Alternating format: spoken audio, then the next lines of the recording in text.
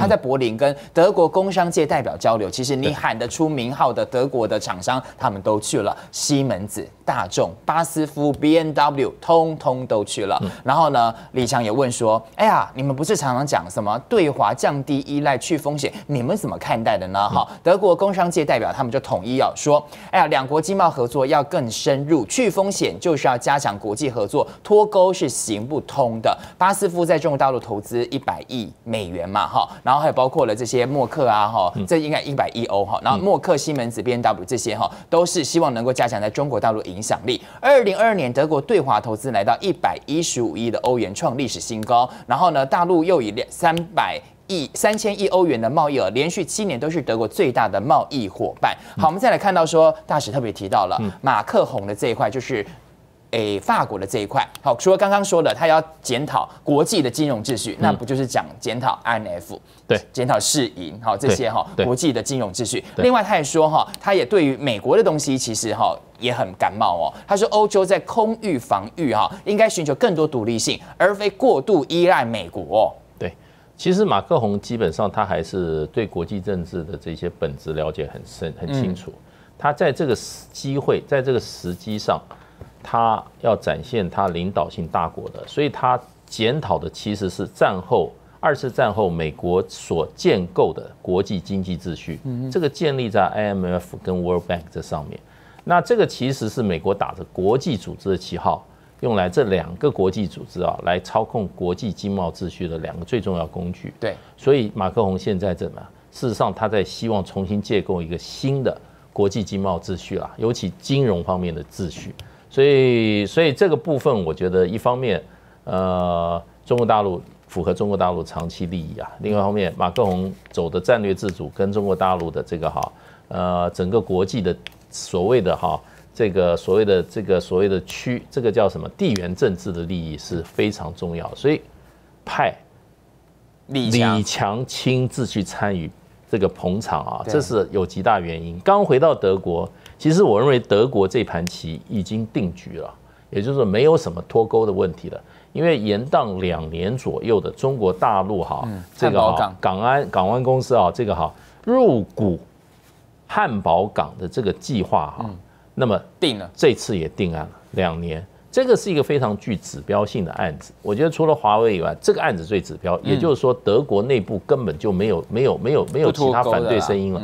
基本上就是跟中国大陆重新建构完整而怎么样，而这个健康的一个经贸关系。那美国的一直在这个啊这个整个这个导演的这个全球，他西方媒体、西方这些小弟们跟中国大陆经贸脱钩的这一个，嗯，啊，整个政策，我认为已经哈。翻过一页了，已经是历史了，已经不是现实了。真的是翻过一页了哈，不是。哎，你美国说了算哈？我记得亮哥曾经说过什么？美国常常叫人家哈，哎，什么要选边站哈？然后呢，你没有办法叫人家选边站的时候，就说我们没有叫你选边站，比如东盟啊哈，他说啊，我们没有要叫你选边站，就是因为你选没有办法叫人家选边站。然后呢，你是做不到脱钩，然后呢，就是啊，我们不是脱钩，是 de-risking，是去风险，就你做不到嘛。美国自己做不到，德国当然也是做不到。那尤其是刚刚好大使特别讲的这一个，也就是呢，汉堡。港这也是很重要的哈，物流股份有限公司哈，中原海运呢，它其实就汉堡港这个福地货柜码头签署了最后的协议哦，也就是呢，这个码头它的占比是二十四点九九 percent。好，这个呢其实拖了两年哦，现在终于也定案了。那代表什么呢？第一个，当然汉堡港是德国最大港口，也是欧洲第三大的海港，中国大陆也是汉堡港最大的贸易伙伴。本来你就需要靠中国大陆嘛，然后呢，那你这边拖来拖去怎么的，那因为你每你德国哈，哎呀，其实还是有一些哈，之前也有抗中的力量嘛，所以拖了一下子。但不管怎么样，现在也过了。你看李强去，真的就是已经尘埃落地了。另外呢，汉堡港是中远在欧洲布局的最后一个环节，也是一带一路中欧陆运的重要一个环节。我们看看汉堡港在这个地方，中欧班列，你看它是一个很重要的一个支点呐。你不靠中国大陆，你到底这个汉堡港的优势在哪？对，所以这个是经贸的利益之所在啊。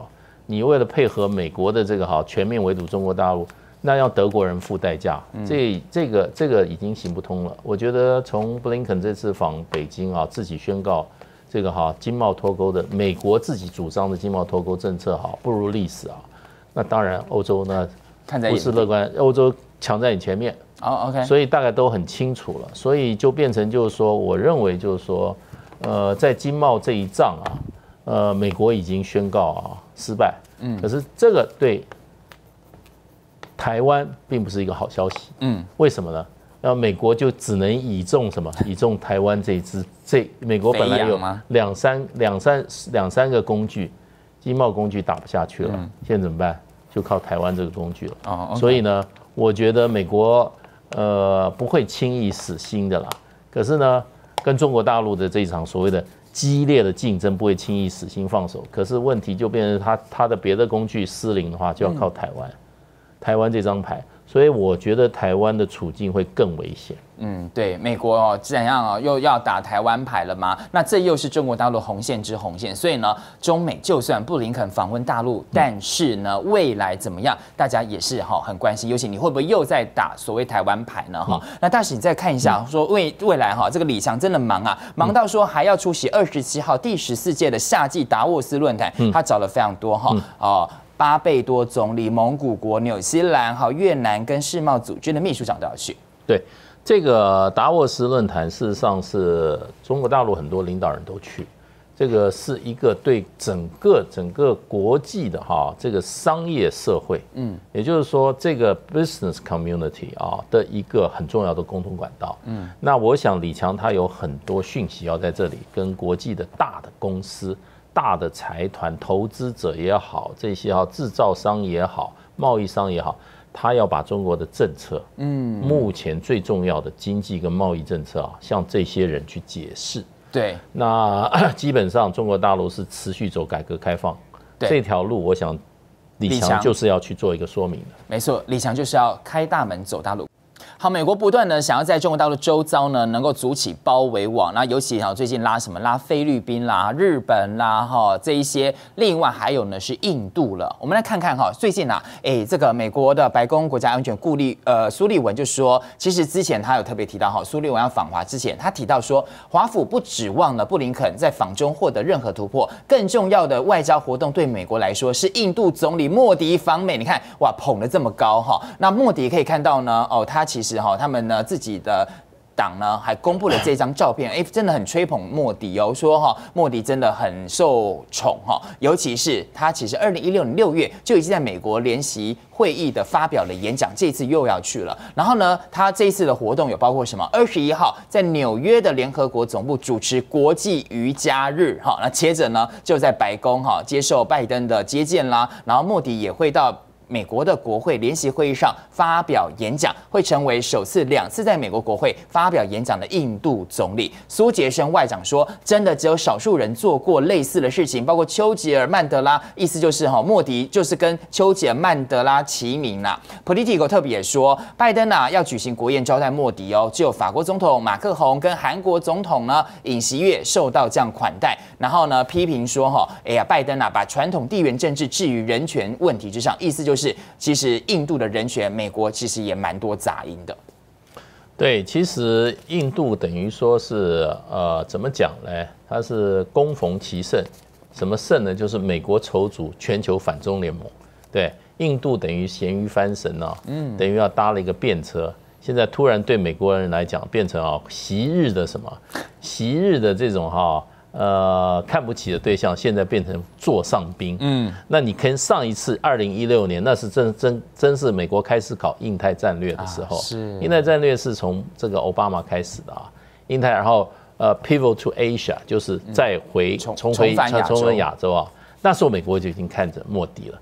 莫迪，你知道他在做这个哈，莫呃这个做省长的时候啊，他因为哈这个迫害印度教徒啊。那啊，事实上被美国限制入境啊，谴责过的。可是他当这总理，因为美国的地缘政治因素，就让他还去美国国会演讲。对，所以美国是利益挂帅，那些所谓的价值、人权什么哈，通通是怎么样？通通是在美国来讲，嗯，根本不是核心的考量。就两套标准，两套标准。所以本来这个莫迪做省长的哈，古吉拉省的哈，他他在里面搞迫害印度、迫害这个回教徒穆斯林的时候。美国是把它限制入境。对啊，当时是这样。可是呢，医医药有用了，对美国有利益了，马上奉为座上宾，还让他去这个国会演讲。所以啊，的印度其实心里也很清楚啦。那他知道，他现在就是因为美国的全球战略啊，他现在突然水涨船高，那他当然也拿来做个宣传啦。那他去印去美国这次访问，当然。美国就跟这个这个苏鲁文讲的，他一定好好啊，让他怎么样？款待哦，哎，款待款待捧一捧。那可是印度人也没那么也没那么傻，嗯，印度什么都是要他要他要好处的，嗯，然后印度人基本上他们的心理素质啊，呃，非常的强，啊，宠辱不惊啊，什么坏事该做就做。坑杀好投资者啊，外国不敢做，他专门坑杀投资者，所以啊，你会觉得他蛮怪的，他逻辑不太一样。嗯，所以我觉得他在美国这个受到这个哈这一次会大受礼遇啊，我想是意料之中的啦。嗯，可是呢，第一个，印度真有那么笨吗？会完全被你所用吗？我想美国人啊，呃。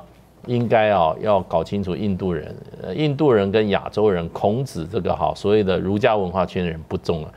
这个儒家文化圈是你你敬我一尺，我报你三尺啊。对。那有一位先生最近表现的就很儒家文化，就是那个尹锡悦先生哈。哇，美国给他吃香喝辣一下，你看他现在啊，嗯，不是投桃报李，人家投桃他报什么？他鲍鱼这个哈，鲍鱼海鲜，所有的这种哈 鱼翅都还给美国了，嗯，完全不顾自己的利益了。印度不会，印度不会，印度哈看得清楚的很。你像这个前一阵子俄罗斯也上当了，他说你买我那么多石油，你付我一大堆印度卢布，现在我跟你换用印度卢布买东西，你还不接受了？嗯，所以印度就是这样子的国家。那我觉得美国现在也反正也是，反正他也就是。给予虚名嘛，嗯，可你实际要跟应用用到印度，你就要印度说你在这个中国中印边界上，你再发动一个战争，印度会干嘛？也不会干，对，没那么傻吧？印度反而运用美国呢，去跟中国大陆这个哈做交涉，所以我是觉得，第一个印度实力没那么强，嗯，第二个印度人极为狡猾，哎，善变，所以呢，我觉得美国现在也没有也没什么，就是邀他也是用虚的，嗯，给予虚名。实际上给予什么没有错，他现在这个呃战斗机的引擎啊，像机翼要到印度去生产，对，然后在军武方面呢，给予印度哈比较多一点的协助，这有什么用？你知道印度的武器系统多混乱，嗯，对不对？以前是他苏凯苏凯三十七，他可能都有了，嗯。对不对？然后他又造了造了他的这个航空母舰，对。然后他的这个整个又有国造的，又有这个英国的系统，又有美国的、俄罗斯的系统，主要俄罗斯最新型俄罗斯为主，现在又加入美国系统，对。这种哈联合联合国式的军队哈，会增强他的战力，我觉得也未必。那美国跟你合作三十五亿美元，马上就跟你印度要了，是。那美国给予印度的什么？这个哈。把你送到国会里去，让那些国会议员没事。盈盈某歹机坐在那边听你莫迪讲一讲一些空话，就如此而已啊。嗯，对啊，所以呢，莫迪哈他可能也算得很精了哈。尤其呢，莫迪是非常会操作呢他的民意的这一块、民调的这一块，他知道哈，他哈跟着美国哈，他自己会有一些哈民调的反弹。我们先来看看说什么呢？说啊，美国现在真的啊怎样给印度很多的一些诶甜头吗？尤其是来看到是路透社啊有提醒哦，提到了这个新闻，说印度啊要采购由通用原子生产。的 MQ 九 B 的无人机，结果呢？哈是多少？三十一架嘛，哈，然后要三十亿美元，诶，这个金额不低耶，一个无人机一个要价快一亿美元。那这些无人机的价格其实还被说比歼二零快要还要来了昂贵了，因为歼二零一架大概是一点一亿美元，那你买了这个哈 MQ 九 B 居然要三十亿美元啊，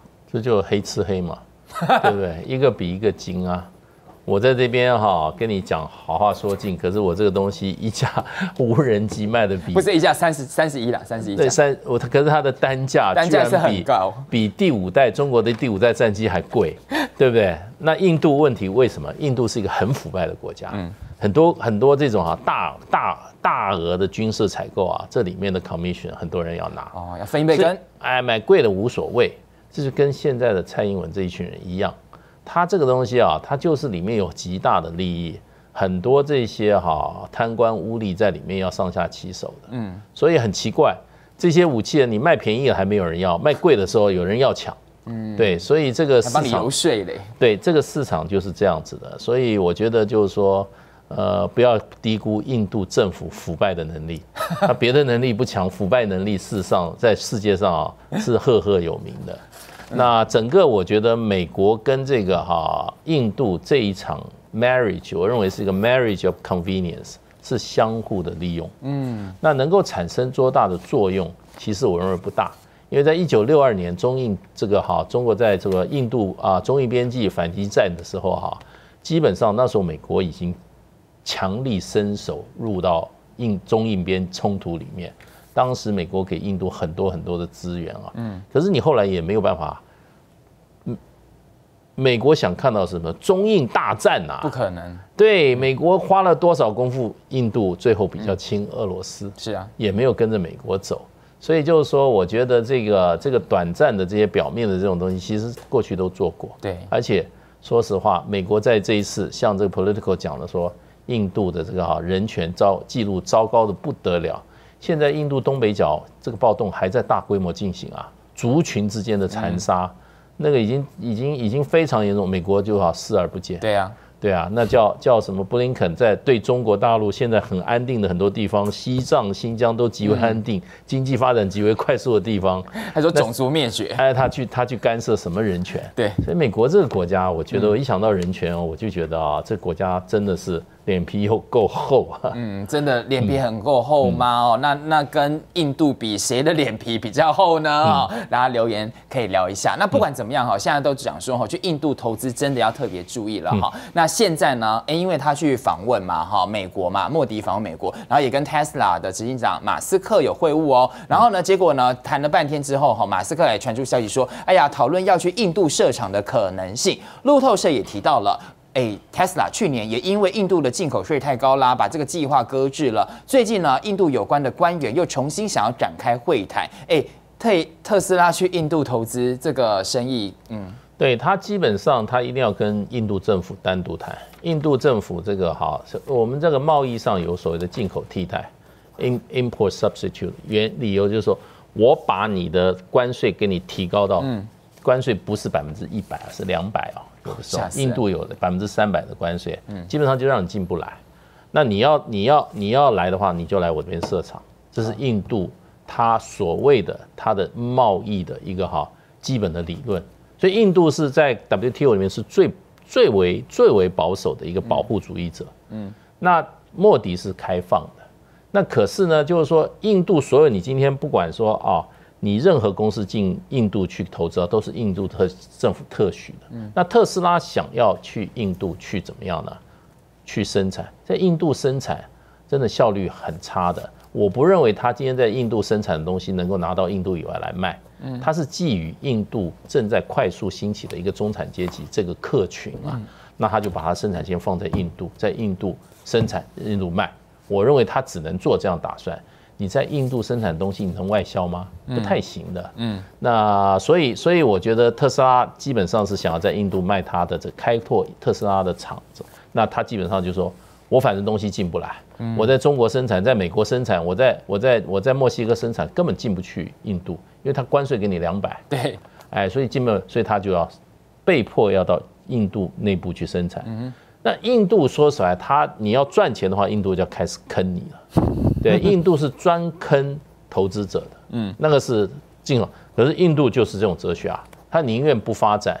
对，印度宁愿大部分人穷，可是问题就是印度基本上政治少部分在少部分这些特权人士在那边掌握的就好了，他有利益就好了。他从来也没有认为印度人要吃饱，全印度人要脱贫。印度人要吃饱，印度人要过好日子。印度哪一个政治人物有这个想法？嗯，印度就是他们这些特权吃好穿好就好啦。那些贱民他会去赶吗？对，对不对？然后呢，印度这个国家在国际上有荣耀就好了，让他们这些印度这些哈特权阶级他觉得啊有面子，就这样。他从你说印度有像中国大陆说，我有什么全面脱贫吗？我要国家要小全面小康吗？印度根本想都没想这个，嗯，所以你今天来赚钱了，你他印度赚我的钱以后啊，嗯，对不起，我就开始用政治的方法来坑杀，被坑杀的厂，最近他们在坑多了，在坑小米，对不对？是啊，罚款啊，四十八亿，四十八亿人民币啊。那这个记录比比皆是，被他坑杀的厂商，对不对？微软被罚七十亿，然后 IBM 被罚五百三十五五百三十七亿，Nokia 被罚两百七十亿，然后呢，谷歌 被罚啊两百二十七亿。你只要在印度赚钱了，嗯，他就要把你赚的钱要把你吃掉，哦，就用他的所谓，他也搞不清楚什么法令啊，他的法令就给你就罚你钱。审法院是印度开的啊，印度开的，意思就是说。我就在我自己家里抢你，有什么不行？对，那反正姜太公钓鱼，愿者上钩。嗯，你走了以后，还是有人会来。嗯，哎，就是那不怕死的人很多。对他想说，哎呀，我你你可以你你被吃是你傻，我跟印度政府斗一斗看，到最后还是被吃，就这样。对，所以呢，哈，这个大使也提醒了哈，特斯拉想要哈，因为他必须看到哈，这个十四亿的人口，的确有一些中产阶级慢慢起来了。你想要去那边卖东西，但是你就必须设厂去这个地方，但是你要特别小心哦。哎，这个印度也不是省油的灯哦，哦，真的要特别注意一下哈。尤其呢，小米最近真的也是蛮惨的哈，被冻结四十八亿人民币的这个相关的资金，赚的钱可能都吐回去了哈。那那个苹果啊，最近也在说什么呢？也想要进入加大力道进入到印印度的市场哈。说很重要啊，哈，那库克也说想要看到印度的市场，因为现在很多中产阶级慢慢起来了，但是来看到小米被坑嘛。不过呢，根据呢这个最新的国际数据资讯的。统计资料，二零二三年 Q one 中国大陆智慧手机的厂商啊，在印度的综合市场份额从大概是八十一点四二 percent 的占比非常高哦，下跌到七十点八三。尽管有下降，但是还在印度市场占有主导的地位。所以呢，苹果啦、三星也想要分一杯羹，但是真的要注意，你可能赚的钱会被吐回去。另外呢，说到了这个哈，特斯拉要在印度设厂等等的，我们也来提一提说，中国大陆电动车，中国大陆工信部说，今年一到五月的新能源的车啊。产销哈产大概是哈达到了三百零五万辆，三百点五万辆哈，然后呢销的部分是两百九十四万辆，那同比增长分别是四十五点九一哈产的部分，销的部分是成长了四十六点八 percent，然后呢新能源车占了销售汽车总额的二十七点七 percent，然后呢中国大陆也有个最新说法哈，说呢对于啊你买这个新能源车啊哈，然后也有呢刚呃它的税呢有免征车辆的购置。置税，比如说二零二四年一月到二零二五年十二月底的这个新能源车免征车辆的购置税，意思就是鼓励大家买新能源车。对中国大陆，因为有一个所谓的哈绿水青山就是金山银山哈，要改变中国大陆整个生态环境环境的保育啊，中国大陆这个定了目标，就事实上就要就要落实了。所以其实整个中国大陆的绿能的产业发展啊，跟中国大陆要把这个哈。整个的环境保护做好是很重要的一个关系，所以两者是相辅相成的。所以中国大陆在这个整个的这个哈所谓的这种哈能源转型跟产工业产品转型上面，它做的是最快的、最落实的。还有有一点就是本身中国大陆的政经体制的话，它事实上政策的执行力非常强。对，像欧美没有办法做，为什么？因为它所有的所谓的油车。它整个原来的既得利益，你要你要知道，油车它一系列从它的保养到它的这个设备厂商那么多哈，它既得利益要保存，那所以它就必须要，它就没有办法让电车这么快的取代油车传统油车的时候，中国大陆不会，中国大陆是完全是政策导向的，然后政府上面一个口令一个动作，目标设定以后下来就是怎么样，就是执行跟达成率。所以才造就了中国的电动车的这么多机会。比如说，大陆的很简单啊，你今天以上海来讲，你挂绿牌的电动车，基本上马上申请执牌照就有啊。嗯，那你其他的你油车，你你买的你有钱买车，你买不到牌照，啊要等着是等它叫什么招标还是怎么样哈？那一个下来可能八万块人民币，十万块人民币，所以你可能会等一年到两年，对不对？所以他说你油车你挂绿牌，我马上就有；你买了我牌照立刻就有啊。那这个就是很大的一个奖励嘛，诱因。另外一方面，在这个其他的，比如说呃呃免税额，对不对？那汽车汽乘用能源，你用新能源的车，你交的是不是比如说税啊少一点也少很，也这个是一个很大的鼓励。嗯，所以你看中国大陆卖的新车现在几乎到四分之一是新能源车，二十七 percent。这个是一个非常惊人的数字。你下载中天新闻网 App 了吗？我想和你分享一个下载中天新闻网 App 很重要的理由。专家说，美国要把台湾乌克兰化，右大陆打台湾，钳制大陆发展，这些绿美不会告诉你，中天会。如果你不要战争，要和平，你需要正确而且权威的国际资讯和情绪分析，请立刻下载中天新闻网 App，和我们一起守护台湾。多一个下载，就多一份力量。